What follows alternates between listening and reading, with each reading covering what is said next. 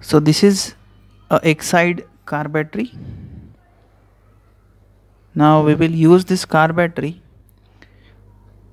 for our household devices. So for running the lamp or LED light a 12 volt DC LED light.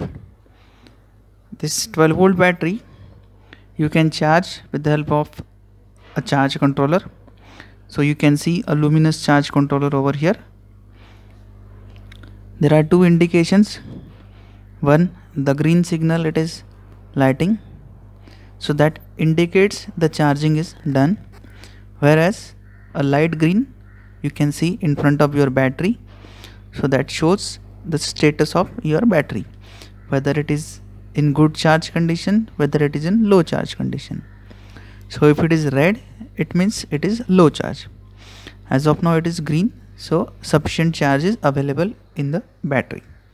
So how we have charged this one? So you can see adapter has been used. This adapter used to connect over here. And this is used for charging. Simultaneously we can use it for running the load. So I will show you how to run the load. So this is a Exide battery 40 ampere hour you can see 12 volt 40 ampere hour. So the current status of the battery you can see 12.79 volt. So the battery is in good charge condition.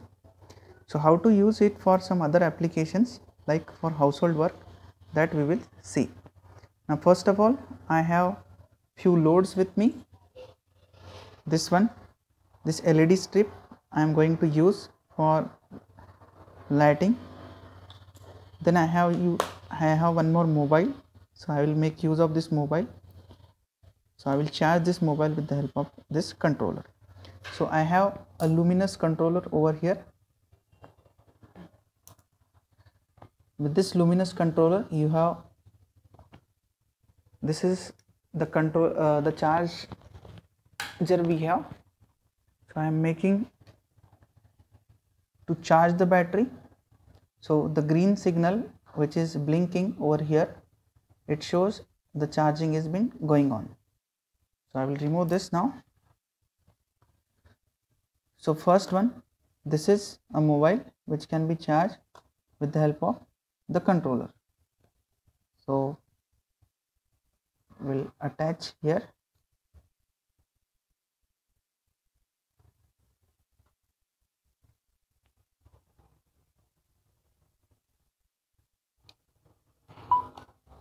you can see now it is charging. The charging is going on. So additionally we can lighten the lamps. So the led strip i have with the help of this led strip i'm going to lighten this. You can just check it. So i can charge my mobile with the help of the old battery as well as i can light up the lamp. So i'm closing this now there are few options available. This is a luminous charge controller. So this is option for solar. This is option for connecting battery. And these are three for connecting your load. Additionally instead of the 12 volt adapter which we have used you can connect this to a solar panel. So we can have a solar panel like this. A comparatively higher capacity is required for